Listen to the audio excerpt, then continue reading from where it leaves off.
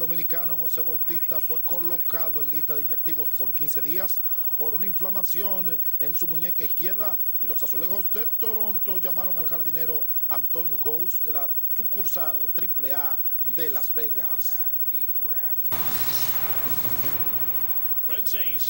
En Cincinnati, el dominicano Johnny Cueto no pareció resentirse ante una ampolla en uno de sus dedos de su mano de lanzar y durante seis entradas no permitió libertades para que los rojos de Cincinnati blanquearan 4 por 0 a los Diamantinas de Arizona. Ryan Lockley conectó un cuadrangular de tres carreras y los rojos se apuntaron su primera victoria sin Joey Boto. En Detroit, Mike tuvo el martes otro juego de cuatro imparables para Los Ángeles, incluido un cuadrangular de dos carreras que puso a la novena a ganar el partido de pelota 13 carreras por cero sobre los Tigres de Detroit.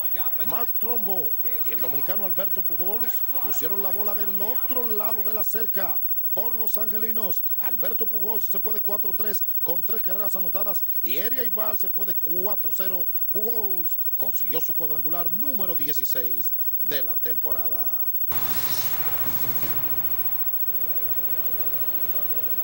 El St.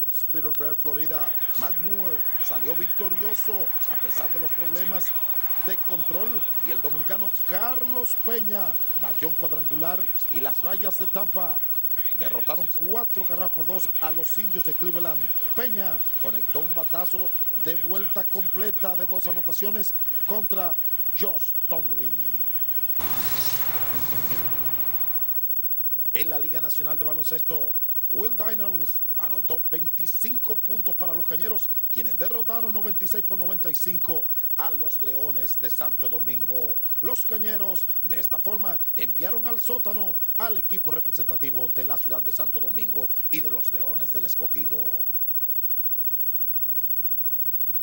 Agradecemos a Edelfun Sureña estas informaciones deportivas. Ahora pasamos a otro tema. La Federación Dominicana de Mujeres Socialdemócratas demandó este miércoles del gobierno la aplicación de una verdadera política estatal contra los feminicidios para evitar que estos sigan causando estragos en la sociedad dominicana. La presidenta de ese organismo PRDista, Janet Camilo, dijo que más que establecer sanciones severas, lo que se debe hacer es implementar una estrategia en la que se trace la política de combate a la violencia intrafamiliar. Pero lo que hemos dicho siempre y en los diferentes documentos que FEDOMUSE ha emitido a la prensa es que aquí lo que hace parte de voluntad política. La voluntad política la tiene en un país presidencialista como este y donde todo el mundo le da limpio el saco a los jefes, son los jefes que tienen que tenerla. Este municipio la dirigente del Partido Revolucionario Dominicano pidió además más garantía de seguridad para las mujeres que sufren de maltratos físicos y verbales a cargo de sus parejas, las cuales en algunas ocasiones acuden a las fiscalías pero no reciben respuestas contundentes con el objetivo de abastecer las necesidades de atención primaria en salud en los sectores aledaños al Pedregal, Jardines del Sur y otras. La Iglesia Católica ha inaugurado la clínica Vida, que se encuentra en el recinto de la Escuela Técnico Profesional Movearte. La idea es crear esta clínica, es levantada con materiales reciclados.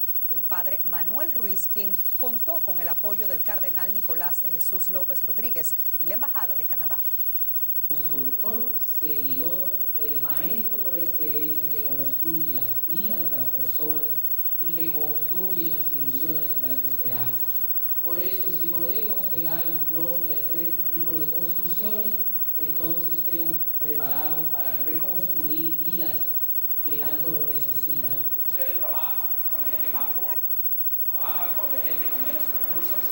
Yo sé bien que ustedes siempre tienen optimismo para esta persona. Se podemos ver un gran símbolo de su creencia en esta clínica. La Clínica Vida ofrecerá en sus instalaciones toda la atención primaria en salud y contará con médicos que darán servicio voluntario para beneficio de todos los residentes de la zona. Otra información, el presidente Leonel Fernández y la directora del Instituto Nacional de la Vivienda, INVI, Alma Fernández, entregó hoy los proyectos habitacionales Invi Villa Progreso, Boca Chica e Invi Villa Progreso Guerra, levantados con el financiamiento de la Corporación Andina de Fomento a un costo superior de 140 millones de pesos. El proyecto de Boca Chica consta de 80 millones y conllevó una inversión de 70, 720 y 990 y el de Guerra de 69 millones de pesos. Estos proyectos habitacionales se iniciaron en el año 2010 y consta de dos bloques de dos edificios con 16 apartamentos cada uno, con 40 metros cuadrados, dos dormitorios, un baño, sala, comedor, cocina, escaleras, áreas verdes y comunes.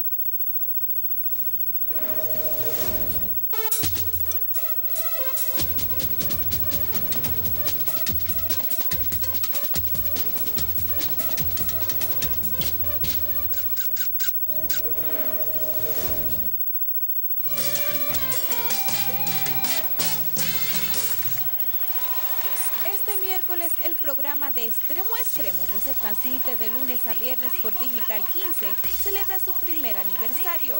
La producción del programa que conducen Michael Miguel, Harry Ramírez, Nayoni Reyes, Jenny Blanco, Alex Macías y Sandra Berrocal ha preparado todo un show que contará con la presentación de Eddie Herrera, El Lápiz, Los Tequeteques y muchos otros artistas y sorpresas.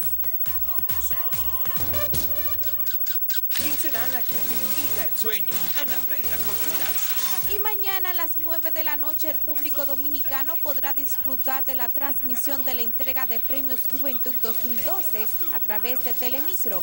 Este año Premios Juventud girará en torno al tema de superhéroes y será presentado por un equipo de celebridades conductores que incluye Ana Brenda Contreras, Eisa, Gerardo Ortiz, Chino y Nacho, Alicia Machado y Wilmer Valderrama. Romeo y Usher. Respira. Luis Fonsi. La noche de este martes se dieron a conocer los rostros de las candidatas finalistas que optarán por la corona del certamen de belleza Miss República Dominicana Global en su primera versión. En un encuentro con la prensa, la organización del concurso presentó las 10 verdades que quedarán dentro de la competencia que concluirá el próximo 11 de agosto a las 7 de la noche en el Mauna Loa.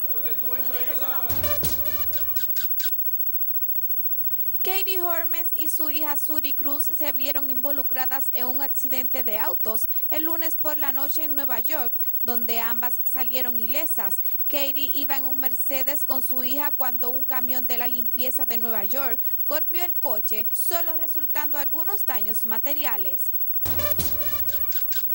Sylvester Stallone pidió compasión por la madre de su hijo tras su fallecimiento. El actor dijo mediante un comunicado que cuando un padre pierde a su hijo no hay mayor dolor. Por eso imploraba a la gente que respete la memoria de su hijo y sienta compasión por su madre Sacha. Saji Mutblum Stallone fue hallado muerto en su departamento esta semana. En un resumen de espectáculos para Noticias Telemicro, Andris Chalas. Agradecemos a Andrés Chalas estas informaciones. Tenemos un último noticia, es que el director general de aduanas, Rafael Camilo, inauguró nuevas oficinas administrativas y operativas en Puerto Plata en beneficio al desarrollo del sector productivo para evitar la corrupción que cometan los funcionarios y empleados de esa institución. Rafael Camilo dijo que su rol es facilitar el comercio, el proceso de transparencia, modernización de infraestructura y de actualización técnica que viven las aduanas dominicanas no hay ya una oficina de aduanas que no tenga esta misma imagen institucional, las mismas fachadas, los mismos colores, la misma estructura interna de distribución, eh, de, de modernidad tienen todas las oficinas. Rafael Camilo aseguró que durante su gestión ha construido y remodelado 16 oficinas de la Dirección General de Aduanas en puertos, aeropuertos, pasos fronterizos y la sede central, que este jueves serán inauguradas por el presidente Leonel Fernández. Así llegamos al final de esta emisión informativa. Gracias a todos ustedes que nos sintonizan de todas partes del mundo. Rafael Inavizonó les acompañó. Que Dios les bendiga.